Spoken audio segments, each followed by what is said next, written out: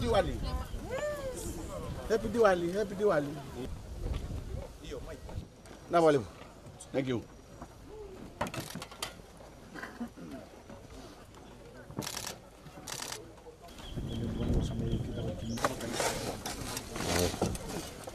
Tangga, tangga. Yo, tangga, tantala, naga. Naga. Naga lewat sini ya.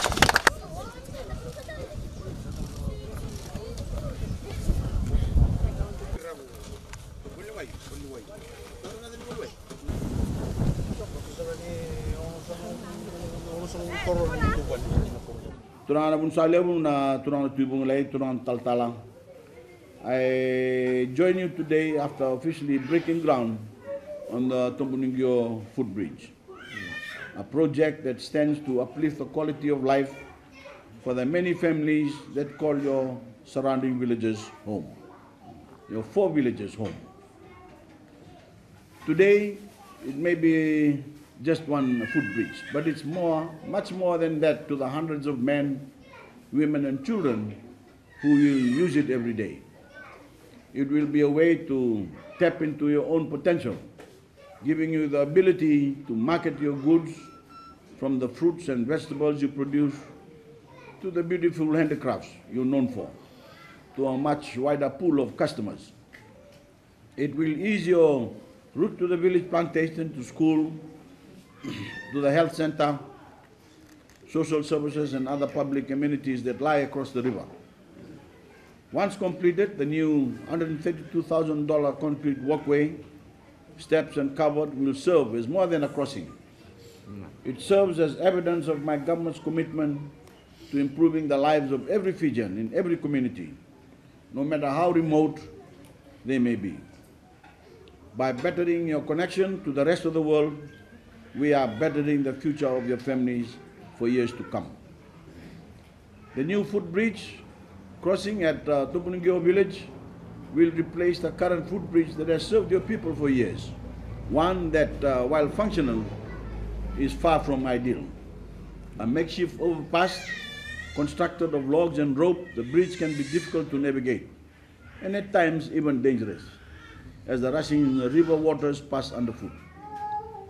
This is uh, particularly the case for some of our most vulnerable Fijians, the young, the elderly, and those living with disabilities are more than any among us, held back by the lack of a more modern and durable footbridge that is better suited to their use.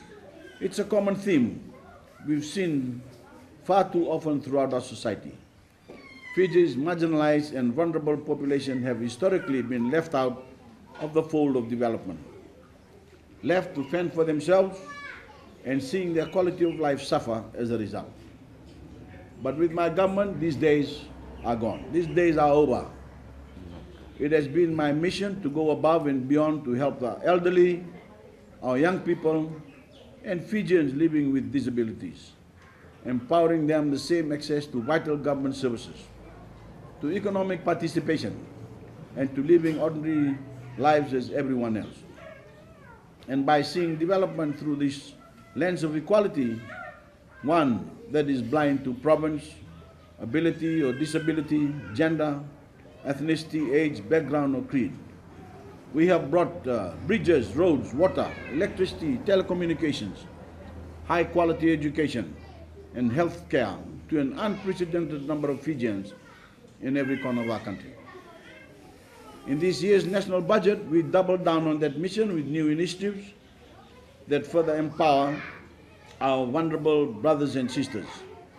By offering the private sector tax benefits, we have incentivized businesses and building owners to install features like wheelchair, wheelchair ramps, and widened doors on their properties. And choosing to lead by example, we allocated half a million dollars to go towards uh, retrofitting Fijian homes and community centers to accommodate Fijians living with disabilities and the elderly. Further still, just last month, we introduced our vastly expanded free bus fare initiatives, giving $40 in free uh, e-transport allowance at the beginning of every month to the more than 55,000 Fijians who are pensioners or living with disability. Just like the footbridge, the benefits of our free bus fare scheme run far deeper than the surface. The connectivity to the rest of Fiji, to our neighbors and loved ones, to new markets and new opportunities that it enables and can truly transform the lives of countless Fijians. This dedication to uh, increasing connectivity has been a reoccurring theme of my government's work, and my dedication to investing in our country's infrastructure network stands as one of my proudest accomplishments. It's also one of the most visible signs of progress that we have, proof of the many benefits of the economic prosperity that all of Fiji has enjoyed over the course of the year, uh, past few years alone. As I said uh, initially, just since 2014, over 600,000 meters of roads have been upgraded or newly paved, with more than 360,000 meters of that total coming from our aggressive rural roads initiative. Over 1,800 streetlights have been put up, and we've constructed and upgraded jetties all across Fiji. And since 2013, we've overhauled 15 major bridges and constructed a dozen more. All said, my government's transportation network expansion has been a resounding success, with hundreds of millions of dollars invested in such projects. One impressive uh, statistic from 1990 to to 2006, over the course of a quarter of a century, the total capital expenditure on infrastructure projects was $3.5 billion. In comparison, during my government, from 2007 to this financial year, we've invested $7 billion in these kinds of vital projects.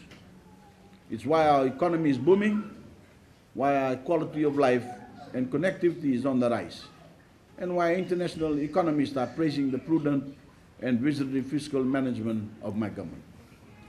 And we're not just investing money, we're doing it in a much more responsible and efficient way than those that came before us. Again, the numbers speak for themselves. We have been able to invest twice as much on the infrastructure projects by borrowing the same amount of money. We are saving money on operational expenses while expanding the amount we put into fiscal construction, getting double the bang for our buck than the responsible spending of past government. Whether it's with Tobuniqio uh, village or anywhere else in Fiji, in Fiji, one thing is clear. When it comes to my government, we're just getting started. By staying on our path of prosperity and stability, the transformation that we have witnessed over the past few years is set not only to continue, but to broaden far beyond what any of us once thought would be possible for our proud Fiji.